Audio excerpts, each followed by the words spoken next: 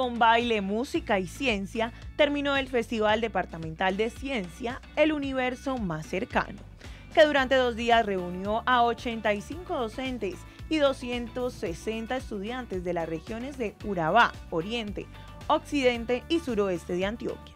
Nosotros estamos cumpliendo con nuestra misión, apuntándole a nuestro propósito de democratizar la ciencia, la tecnología y la innovación. Nosotros creemos que todos podemos ser científicos, todos podemos trabajar en temas de ciencia, todos podemos hacer investigación y con este proyecto lo que estamos buscando es inspirar y despertar vocaciones en ciencia, tecnología e innovación. Niñas, niños y adolescentes de 12 municipios compartieron con sus pares y con la comunidad los proyectos de investigación que adelantaron en sus instituciones educativas durante todo el año.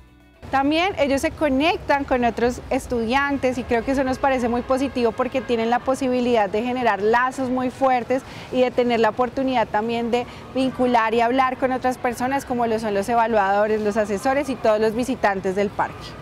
Río Negro, San Jerónimo, Andes, Carepa, Santa Fe de Antioquia y El Retiro fueron los ganadores de este encuentro de ciencia y diversión.